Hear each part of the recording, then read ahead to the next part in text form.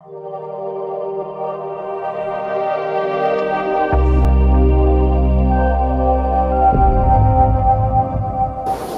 хочу позвать пастора Хамана с Казахстана. Добро пожаловать.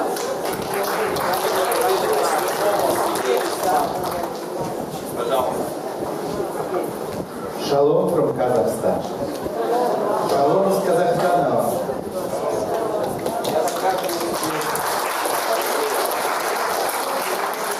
Я рад быть здесь у вас этим собранием.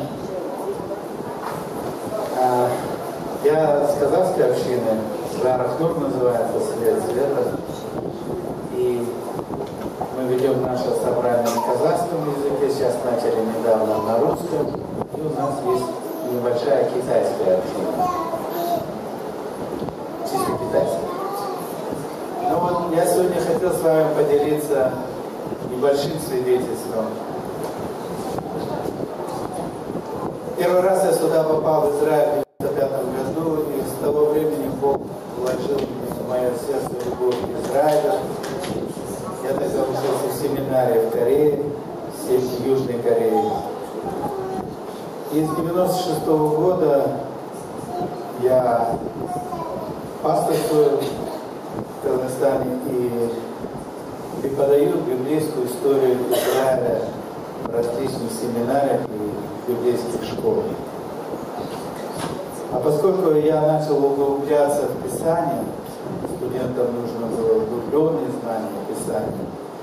Ну, там в семинаре мы проходили, ну, вы знаете, как проходили, проходили в Советском Союзе английский, помните, да? Как биографии писали там английский со словарем. Ну, вот так же у меня еврейский со словарем. Потому что не говорю на иврите, но очень люблю этот язык. И когда я начал углубляться в Писание, я для себя перевожу его на современный русский язык, не синодально, а на современный русский язык для студентов.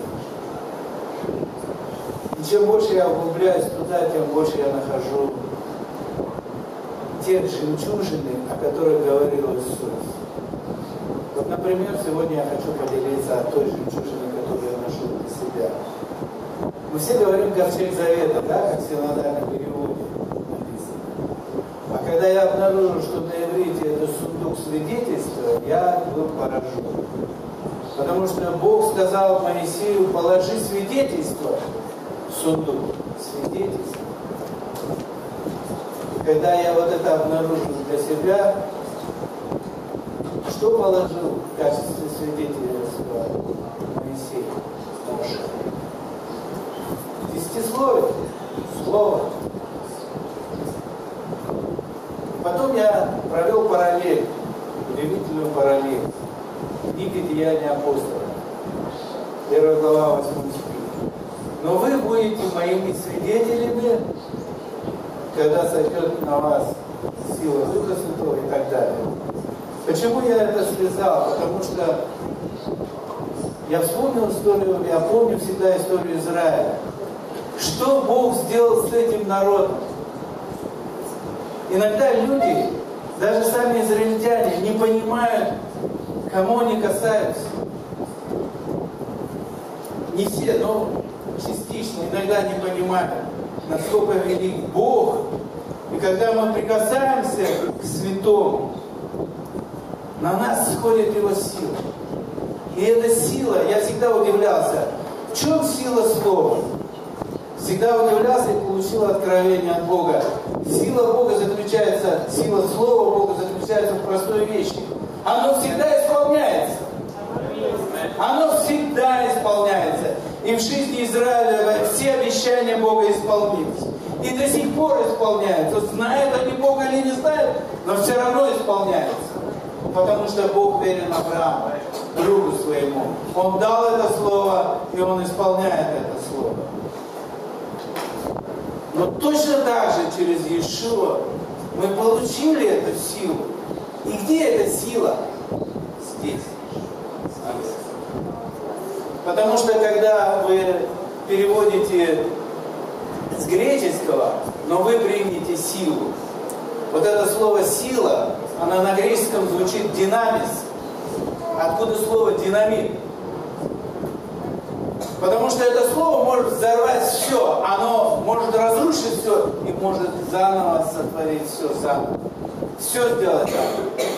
И вот у меня небольшое свидетельство моей супруги. Она казашка, выросла в селе, где практически не говорят на русском. На границе с Китаем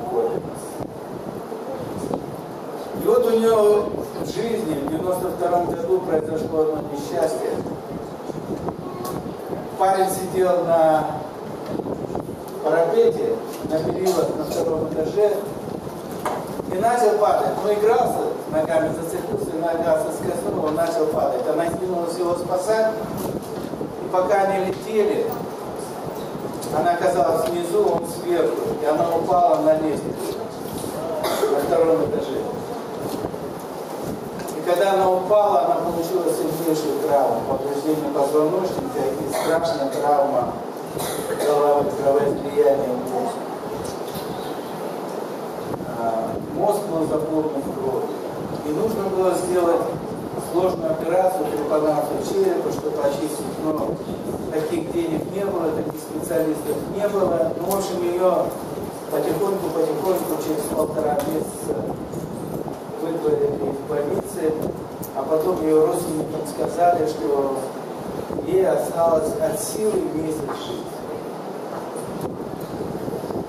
И от одной своей племянницы она услышала это, что ей месяц осталось жить. И когда она начала что-то искать и вспомнила, ну согласилась, что ей мало осталось, с Богом согласилась. Только у нее один вопрос был, куда я пойду, на небеса или тут она вспомнила одну женщину, ее зовут Сара, казашка, которая когда-то говорила свидетельство. Она начала искать, не могла найти. Как-то с ней случайно встретилась в пенсионном фонде, когда пенсию себе оформляла, а ей оформили вторую группу инвалидности ну, и отправили потихоньку умирать. И вот она встретила ее и так обрадовалась, начал у нее спрашивать, и та пригласила ее в церковь, в баптистскую церковь. Причем пригласила ее на Микетов. Она пришла в церковь, русская баптистская церковь. Ну, Галя, естественно, возмутилась, куда она меня пригласила. Но потом она даже не стала заходить внутрь, посидела снаружи, и к ней подошла одна казашка женщина, поскольку Сара не пришла. Та начала ей на ломаном казахском рассказывать о Боге, а потом пригласила ее в нашу общину, казахскую общину. И она пришла к нам в среду. А мы в среду тогда, это 93 год, мы занимались каждую среду тем, чтобы переводить с русского на казахский гимн песни. Вот она пришла, начала слушать нас, смотреть, что мы делаем, и услышала, увидела вот это писание на казахском языке. И вдруг Господь ее коснулся через эти гимны, и она поняла, там ничего не делая, она сейчас спасена. Просто приняла сердце вот этот гимн. И она поняла, что спасена, и спокойно собралась уходить. И к ней подошла еще одна наша сестра, начала расспрашивать ее в воскресенье следующем же. Куда ты, что ты? А она уже в это воскресенье собиралась уезжать себе домой на родину в чтобы там спокойно уже умереть. Я спасибо. Но она ее повела к себе домой. Три месяца она не заметила, как у нее пролетели дома. Не умерла. Потом Бог сделал чудо. Познакомил нас с ней там, когда. Потом Бог дал нам откровение, мы поженились. Бог нам потом дал двух сыновей, Исаак,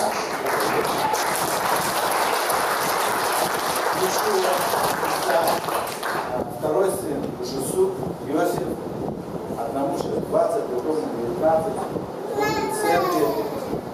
Ну, наверное, не это самое важное. Она полностью исцелилась.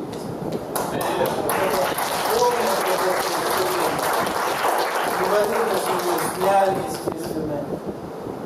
Самое большое чудо произошло в 2006 году. Мы пошли сделали томографию черепа. И чудо заключалось в том, что там не было никакой Все убрал. Спина ее исцелилась. Потому что в 93 году она даже толком ходить не могла, потому что час-два походит, и ей надо было лежать почти 5-6 часов, чтобы отдыхать. А, вы не поверите, какой у нее вес был, 39 килограммов. Еле-еле ходила. Бог сделал чудо, она исцелилась. Но самое важное, что это исцеление Бог показал ее семье. Через это ее отец. Довольно такой, как сказать, не сильно упертый, но мусульманин. Ее отец, ее мать, братья, сестры, там 9 человек, все родственники, все пришли к Богу, все последователи Иисуса. Огромное количество родственников. И было даже такое у нас, когда мы поехали в 97 году в деревню и проповедовали там три дня. За три дня в этом селении, чисто казахском селении, 70 человек приняло. И поэтому ее исцеление, оно дало внутренний толчок. Вот та сила, которая была в ней, вот этот динамик, она даже этого не понимала, как это происходит, но Дух Святой это сделал. И он такой же толчок дал ее отцу, поскольку у него был рак, рак кожи, саркома капоши. В 2007 году по молитве эта болезнь была остановлена. Ему сейчас за 80. Он все еще живой, он все еще славит Иисусу. И я хотел вам просто сказать, что вот эти чудеса и знамения, которые происходят сейчас среди казахов, мы даже иногда не понимаем, какой мы силой внутри себя обладаем.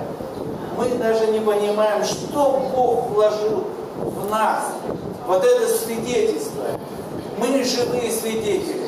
Мы живые сундуки свидетельства, которые носят в себе вот это слово. Слово, которое может двигать горами. Слово, которое творило всю Вселенную. Бог вложил все это в нас. Но Бог очень умный Бог. Он очень умный Отец. Он вложил в нас Духа Святого, чтобы мы что-нибудь не натворили через это слово. И когда мы это слово говорим, мы должны помнить. Вот это я для себя четко уяснил. Наше слово может делать самую удивительную вещь в этом мире. Я не говорю о том, чтобы двигать деревья, скалы, расступалось, чтобы море и так далее. Я говорю самую удивительную вещь слово. Это слово меняет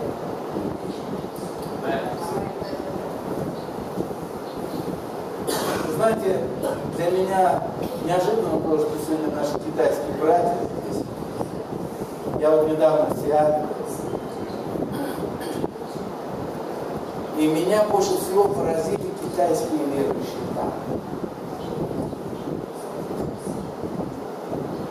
У нас как-то в Казахстане не очень заметно, я не знаю, в силу каких причин, не очень заметна большая разница между христианами и нехристианами. В Китае это видно сразу, невооруженный взгляд. Видно, кто верующий. Сразу, моментально. И меня это всегда поражало. Но сегодня я хочу сказать, что тот же Бог, Адонай который действует здесь в Израиле, действует же Бог действует в наших соседей в Китае и в нас в Казахстане. Это тот же Бог, который любит нас, очень сильно любит нас.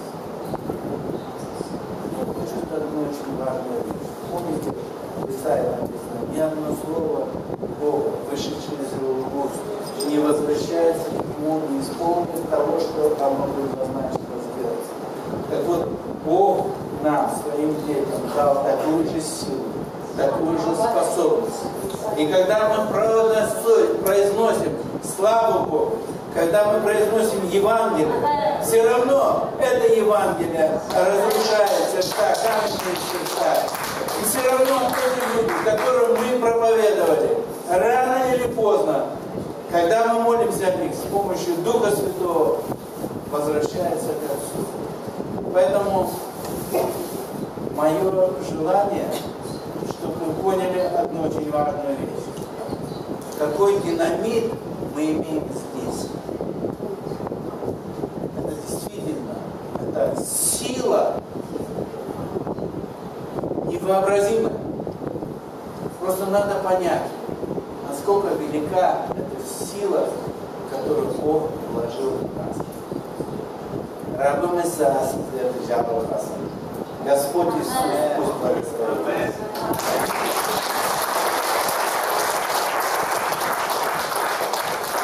Знаете, в Деяниях апостолов написано, что многие жены молились и получали своих мужей воскресшими, но были такие, которые не получали. Знаете, Бог творит много чудес. Иногда и люди страдают, и не всегда понимают, почему. Но написано, все это происходит для славы Божией. Я думаю, то, чем поделился пастор, это действительно показывает истинную славу Божию. Что когда люди через одного, через страдания одного, просто несколько человек потом познают Господа, это действительно удивительно. Еще раз спасибо. Я хочу теперь позвать пастора Юрия, тоже поделиться словом с нами, тоже с Казахстана. Пожалуйста.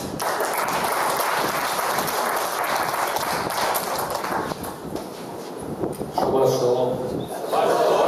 Привет с Казахстана. Вам нравится, когда вам передают приветствие? Когда вас кто-то приветствует, вам нравится? Когда вам приходим, говорим, приветствуйте во имя Ишуа, Нравится или нет? Всем нравится? Да, не спешите радоваться. Однажды Иисус сказал, горе вам, если, вы, если вам нравится приветствие народа в собрании. А, я шучу. Но нам, конечно, нравится, когда нас приветствуют, но нам прежде, прежде всего нужно а, учиться подходить самим говорить, я тебя люблю, я тебя приветствую, а не просто ждать. Некоторые люди а, ждут, вот здесь в церкви нету любви, потому что мне никто не подошел, не поприветствовал, я никому не нужен, я пойду в другую церковь. Я говорю, сам, сам приветствую. Если тебе нравится, когда тебя приветствуют, что-то здесь не в порядке. Нужно любить самому приветствовать друг друга. Хорошо, я вас приветствую, даже если вы меня не приветствуете. Я вас люблю и привет с Казахстана. Я не казах, как вы видите, да? Меня лицо немножко другое, но я живу в Казахстане, родился там в Казахстане и женился там, и у меня трое детей, очень красивая жена, и я женился без откровений. Он по откровению женился, да? Я без откровений женился, просто влюбился, у меня трое детей, и так вот живу, и э, когда меня спрашивают, ты, сколько лет верующий, я говорю, я от матери верующий. Потому что у меня бабушка верующая, мама верующая, я уже вот с таких вот лет меня носили, водили на собрания. В общем, ну, а в 17 лет меня Бог сильно затронул, и вот с 17 лет я как бы уже а, служу Богу и являюсь служителем, пастором в Казахстане. У нас где-то около а, 40 церквей по всему Казахстану.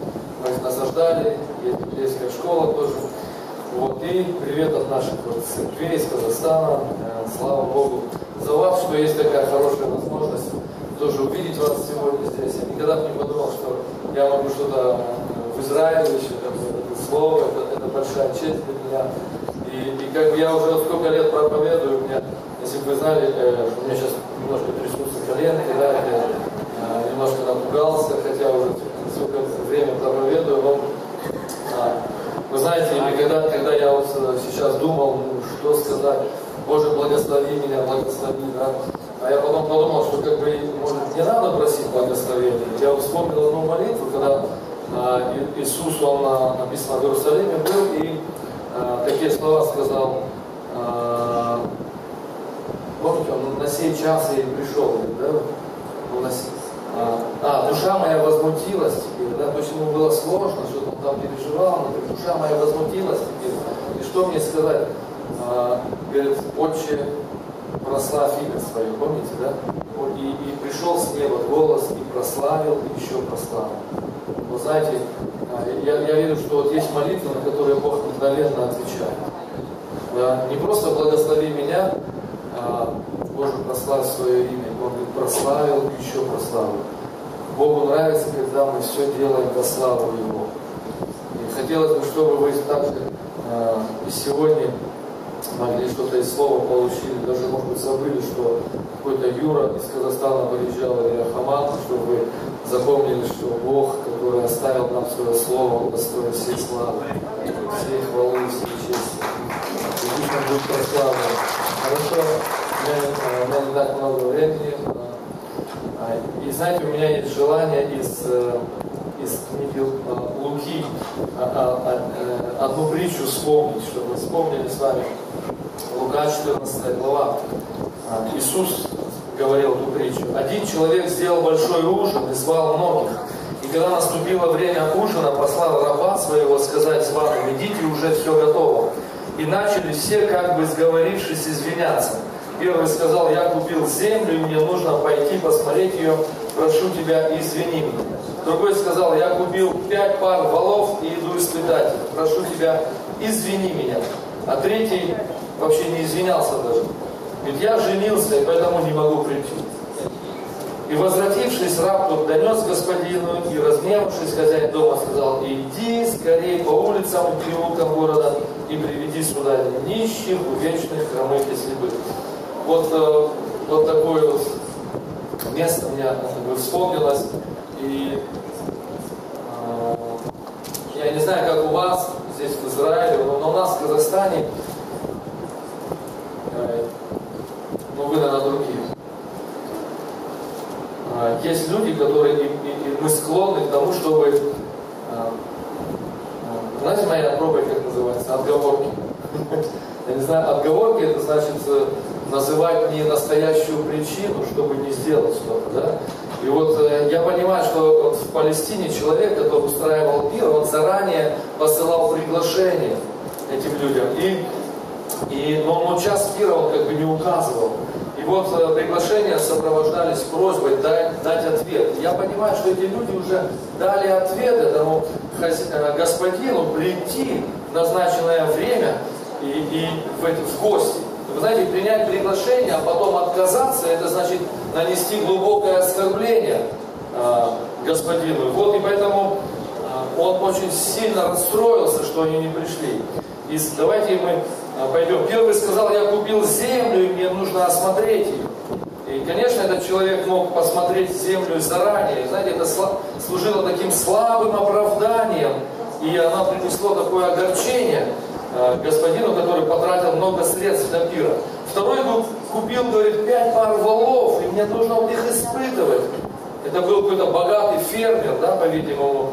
И, наверное, у него была и наемная сила, и люди, которые могли это сделать. А третий вообще коротко заявил, я женился и не могу прийти. Вот, конечно, вот в Ветхом Завете, если читаете, человек женился, он целый год мог не идти там на войну, вот, и устроять свой дом с женой. И дом это такое приятное место, но очень опасно пользоваться им как-то эгоистично. И вот отговорки, знаете, э, для меня это стало ясно, что это не были настоящие причины, хотя они звучали как настоящие причины. Когда, вы знаете, я подумал, когда я не хочу или мне не нравится что-то делать, или я ленюсь что-то делать, вот, или меня что-то попросили сделать, а мне это не нравится. Вот, и чтобы не говорить настоящую причину и выглядеть, и не выглядеть некрасиво как-то, и мы можем использовать отговорки. Отговорки. И вот хозяин, он так разгневался, когда получил отказ, потому что все перечисленное не было грехом. Жениться это не грех. Пойти испытывать валов это не грех. Землю покупать, быть бизнесменом это не грех. Приобретать недвижимость, да. Но в данном случае почему он разгневался? Что это не являлось истинной причиной. Истинной причиной, хотя и звучало так правдоподобно. Эти люди оказались нечестными по отношению к хозяину, и они прикрыли свое нежелание прийти на пир вот под таким благовидным предлогом. Я занят таким важным делом. Знаете, наша плоть, а, а фактически она у всех одинаковая, в Израиле и в Казахстане, и в Китае. Написано, что чтобы мы не советовались с плотью и кровью. А наша плоть, она находит отговорки, мы умеем находить вот такие неистинные, неправильные причины, чтобы отказаться делать что-то правильное и неважное. Кто хочет, тот ищет возможности, согласитесь, да? А кто не хочет, тот находит отговорки. Вот и э,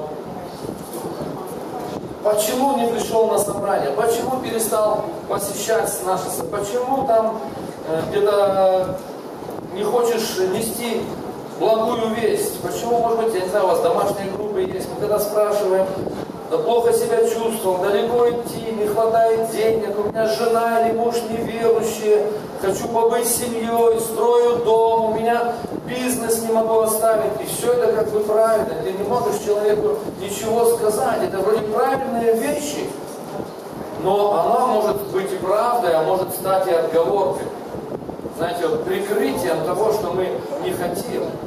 Мы порой боимся другим и себе даже признаться, что мы порой не можем. У нас остыло желание общаться, что у нас когда-то появилась лень, что нам, может быть, хочется поспать побольше, да? Исчезла самое главное страсть по Богу и по Дому Божьему. Бог однажды э, пророку Иеремию, он через пророка Иеремия важные вещи говорит, иди, говорит, расскажи моему народу, я, говорит, вспоминаю о днях юности твоей, когда ты была еще невестой, и когда последовала за мной в землю незасеянную, пустыню. То есть Бог говорит, куда делась твоя ревность и страсть? Ведь это было, я помню. Я помню, когда ты начинал идти за мной, когда ты только пережил первую любовь, ты готов был идти даже в пустыню, в землю незасеянную, и делал это с радостью, а не воздыхая. И мне грустно, что сейчас это не так. Ты находишь любые предлоги, чтобы не общаться со мной, чтобы не любить Дом Божий. И ты стал находить их, чтобы не служить мне. А на самом деле истинная причина – это потеря первой любви, страсти, желания, огня. Помните, одной церкви в книге в Откровениях он говорит, ты, знаете, когда читаешь, это Ефесская церковь, это прекрасная церковь. Он говорит, ты имеешь терпение, там апостолов разоблачаешь, ты трудишься для них, но он говорит, имею против тебя, ты оставил первую любовь. Ты оставил первую любовь. Если ты не изменишь что-то в этом направлении, то я сдвину твой светильник, покайся и будь ревностным. Знаете, очень важно не просто э, служить Богу, приходить, но быть очень ревностным. Богу нравятся такие люди, которые горячо и страстно служат Ему. Иначе, говорит, приду и сражусь с тобою. Покайся. В усердии написано нам, нельзя ослабевать. Духом пламенеть всегда нужно. И тогда не нужно будет искать никаких отговорок. Вы знаете, для меня был пример моя бабушка, а, которая а, уверовала еще в годы войны и вы знаете, а, они в деревне были всего две сестры, которые уверовали, это Писательская церковь была, нет, в деревне не было церкви, а была церковь в Алмате.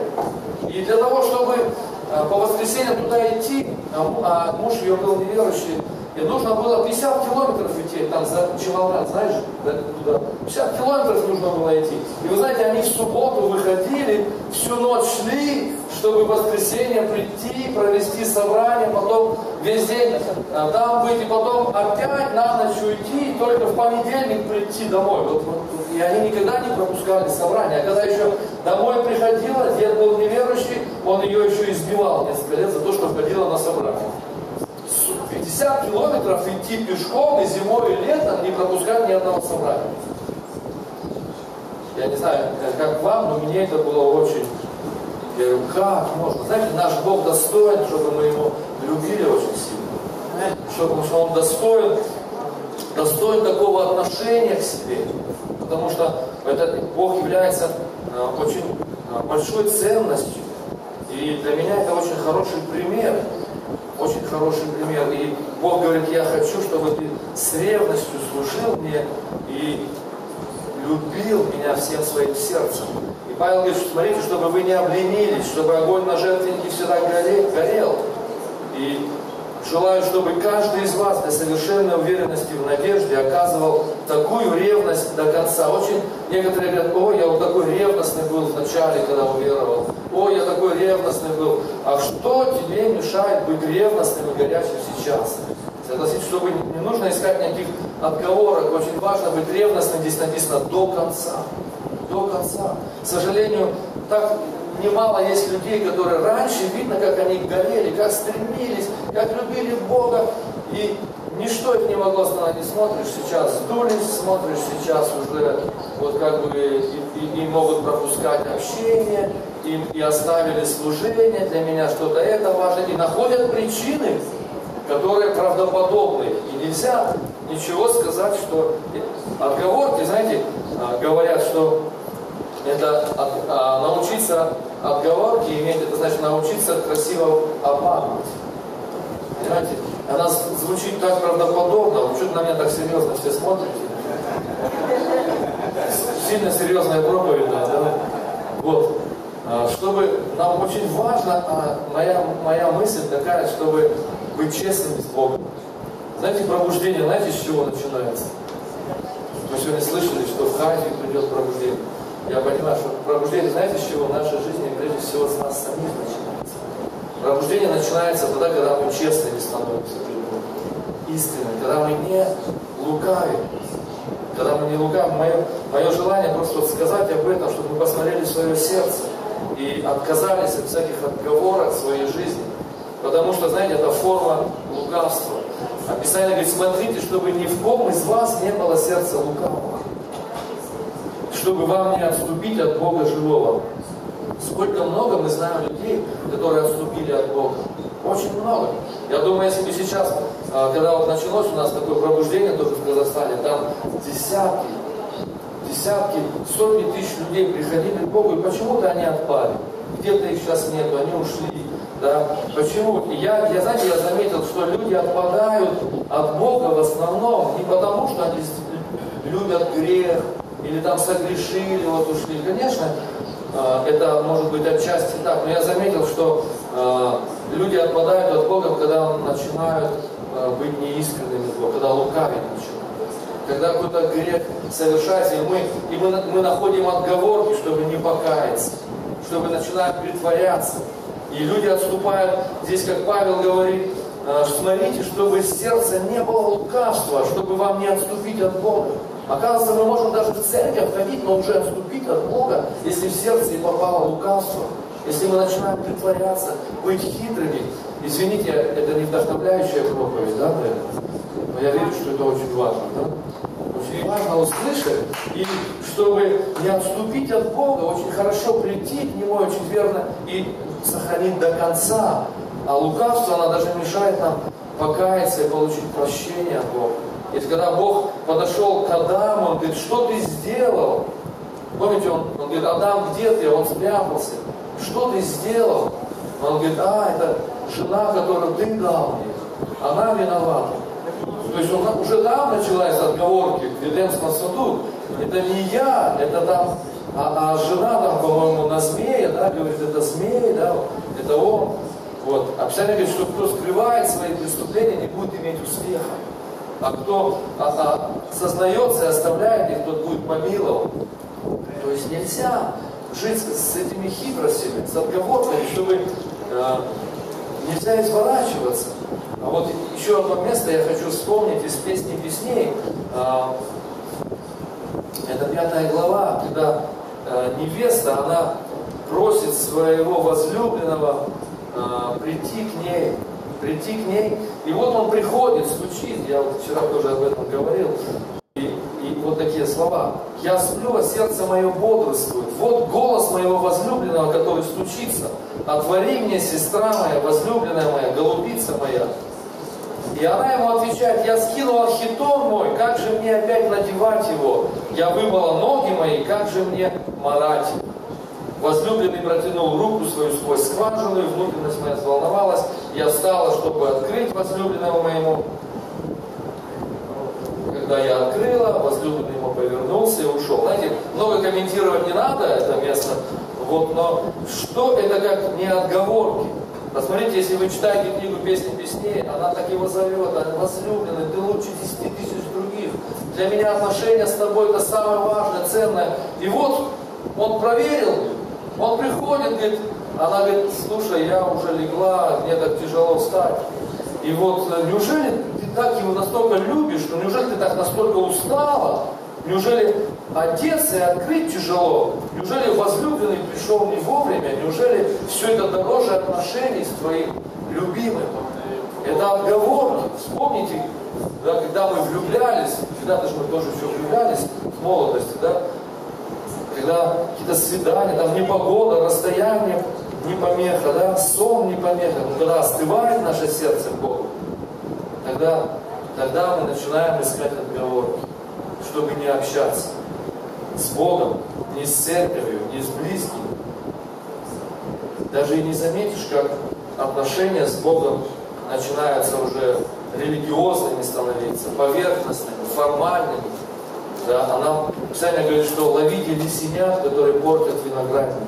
Вот эти мелочи, казалось там отговорки сделал, там где-то а, притворился, там где-то. Вот, и эти вещи, они настолько могут разрушать нас наши отношения с Богом. Наши отношения с Богом. И а, я сейчас уже подойду к концу. Давид говорит, блажен человек, в чьем духе нет лукавства. Блажен человек. То есть счастливый тот человек, который Бог с искренними, как он поступает? Бог с искренними поступает с лукавыми по лукавству его. Вот израильтянин, в котором нет лукавства. Я верю, что нужно и можно жить без притворства и отговорок. Не веди нас, Господь, да, во искушение, но избавь от этого лукавства. Бог прекрасно разбирается, когда мы не можем и когда мы не хотим. Знаете, я вспоминаю историю, когда Давид, на него, его семью забрали, амаликитяне, если не, помните, он, когда он был там в изгнании, его забрали, он приходит домой, и, и там эти мужчины приходят, а амаликитяне забрали их семью, жен, детей, и так сильно расстроились, хотели его побить камнями, Давида, и он укрепился надеждой на Господа, и говорит, догоню их или нет. И вот 600 человек идут с ним, помните, они догоняют долгое время, и потом подходят к одному, к одной преграде, какая-то река была, и написано, те 200 человек не могли перейти, а 400 пошли дальше, догнали вот свои семьи, возвратили, богатство взяли. А вот эти 200 не могли перейти, но очень хотели. И когда Давид возвращается, он одинаково делит добычу и тем, которые туда не ходили. Помните эту историю? И те, которые воевали, даже те 400 человек начали злиться. И почему нас сравнял с теми, почему одинаково раздал добычу? А Давид видел этих людей, потому что они очень хотели, но не смогли. Понимаете, да, Бог прекрасно понимает, нам не нужно стыдиться своих слабостей. У нас есть слабости, нужно научиться делать все, что я могу. Помните об этой женщине, которая помазала его этим миром, он говорит, она сделала все, что могла. И говорит, где не будет проповедано Евангелие, везде будут о ней говорить. Сделай все, что можешь. То, что не можешь, Бог не будет себя с этого спрашивать. Нам должно быть стыдно за отговорки а не за наши честные слабости. Ты немного имеешь силы, но не отрекся от имени моего. Бог знает, сколько мы имеем силы.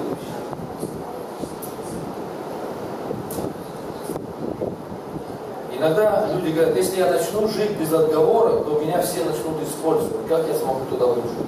Я, я не смогу так жить. Мне нужно беречь себя. Мною начнут злоупотреблять такой страх приходит, я уверен, что Бог дает и силу, и благодать, и радость, когда мы решаемся ходить во свете. Аминь. Ходить во свете. Ревека, когда попросила Элизер у ней попить воды, она не только ему дала воды, но еще всех верблюдов напоила. Помните, тебя просят одно поприще, ты можешь идти с благодатью еще другое поприще. Вы, или я, я что-то, может быть, непонятное говорю? Все понятно, да? Была. Как? Она еврейка была, да. Вот, и, э, а, и даже не просила, вы знаете, напоить верблюдов, там, наверное, несколько, каждый верблюд, по-моему, по 100 литров выпивал. А она черпать надо было, да. Не просили ее, она это сделала. Вот, и отговорки. Однажды одного пророка Бог, помните, зовет, иди, неси моему Ивану, народу моему словом. А он говорит, я молод и не могу прийти. Кто это говорил? Кажется, Иеремия, да? Я молод и не могу идти. Иона, иди в Ниневию, не могу говорить, да, я молодой. Иона, иди в Ниневию. Но, видимо, обратно. Я знал, что ты милостивый, это тоже. И ты бы и так бы с ними не наказал бы, и поэтому я не пошел. Нет времени. Идите проповедуйте. Кто пойдет для нас? Исайя не стал по сторонам смотреть, искать. Он сам говорит, вот я, пошли меня. А Моисей, когда его Бог призывает, иди, освобождай мой народ. А он говорит, кто я? Бог ему объяснил, кто он. Он потом говорит, да мне не поверят. Бог ему говорит, вот тебе жезл, на, вот, вот чудеса будешь делать. Да. Потом он опять говорит, ну я заикаюсь. Говорит, я и могу заик использовать, да, вот и я даю благословение. И, и Бог его как бы везде, вот, отговорки, отговорки, отговорки, и, он, и потом еще все равно он говорит, пошли другого. Пошли другого. Гнев Бога возгорелся, когда Моисей эти отговорки искал. И знаете, на все отговорки Бог дает ответы, но все равно Моисей не соглашается. Мы думаем, это такая скромность, но это неверие.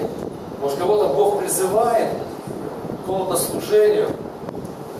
Я молод, я не могу, я заикаюсь, у меня нет образования, я кто-то школу не кончил, да? Бог говорит, я тебя зову. Знаете, это очень Э, очень как бы ответственно перед Богом отказаться от того, к чему Бог тебя призывает. Я понимаю, что э, я так подумал, если бы я знал, что меня ждет как пастора, то я бы никогда не согласился быть пастором. Но меня Бог тоже позвал, поставил, и, и потом постепенно вот эти нагрузки приходят, да, там всякие сложности. И сейчас я говорю, Господь, вот у тебя мудрости столько хватает, ты же шаг за шагом идешь и сразу нагрузки какие-то серьезные. Вот, эти, вот я верю, что нам можно и мы должны жить без всяких отговорок. Аминь. И вот еще, на память пришла вот эта история с Исфирью, когда Аман, он хотел уничтожить, геноцид устроить Божьему народу. Помните, вот он, а, ему не поклоняется Мардахей, он настолько разозлился, что он говорил царя уничтожить Божий народ, уже время назначил, уже заплатил.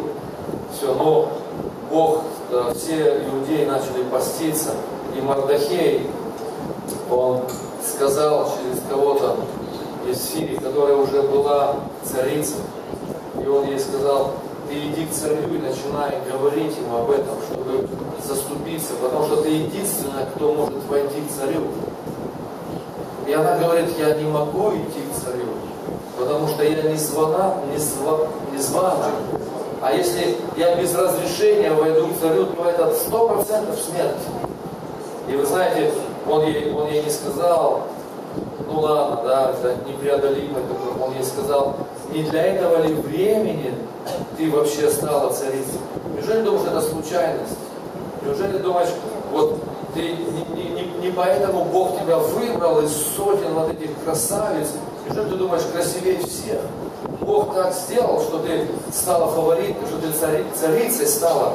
И говорит, если ты не пойдешь, то Бог найдет с другого места, как защитить свой народ. А ты погибнешь. И она говорит, хорошо, поститесь, я пойду.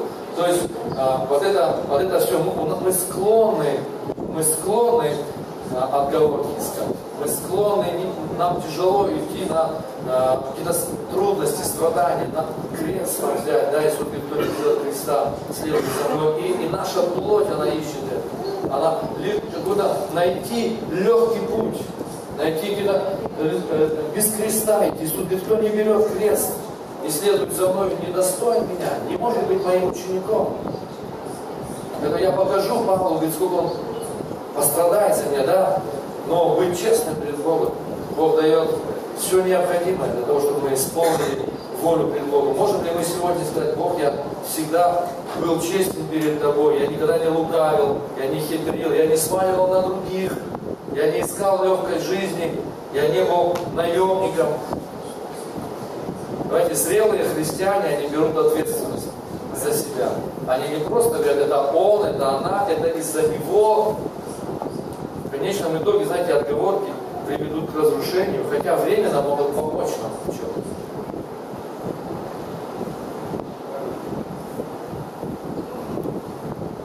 Давайте склоним свои головы перед Богом. Давайте я не знаю, что поговорите с Богом. Если что-то а, в сердце есть или начинается, и я много как бы примеров привел. Я вот эту свою проповедь так сжал быстро. Вот, я где-то час говорил там в церкви себя, но сейчас вот за, за 15-20 минут но, но основную мысль, я верю, что мы должны понять, нам нужно быть открытым перед Богом. Если Бог призывает нас, если Бог э, зовет нас, если Бог, давайте скажем, Бог, если, если эти отговорки были, прости меня. Вот, если я потерял эту первую любовь и уже начинаю э, притворяться, начинаю искать какие-то э, обходные пути, обходные пути, вот таким становлюсь э, теплым христианином, лишь бы вот как бы отмечаться приходить. Да, страсть, ревность уходит. А, Бог, я прошу Тебя, прости меня, я хочу быть ревностным.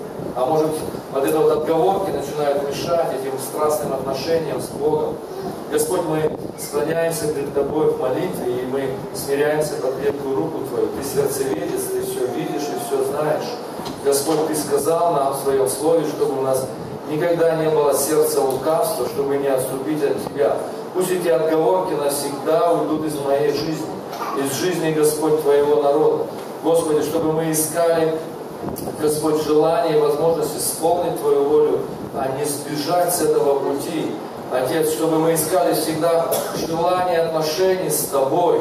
Господь, если нужно страдать с народом Божьим, нежели иметь временные греховные наслаждения, Дай нам поступить, как поступил Моисей, который отказался называться, быть сыном дочери фараона и захотел пойти и переживать эти трудности, Господь. И мы молимся, чтобы нам не слушаться своей плоти, не слушать советов плоти, но слушать Тебя и исполнять Твою волю. Господь, во имя Иисуса, Иша и Иешуа, Насыха, мы молимся, благослови нас, прости нас, и мы хотим Господь, начинать э, по-новому служить Тебе, Господь, и, или продолжать служить Тебе горячо и ревностно. И мы принимаем Твои благословения и за все Тебя славим. Аминь. Слава Господу. Спасибо вам большое.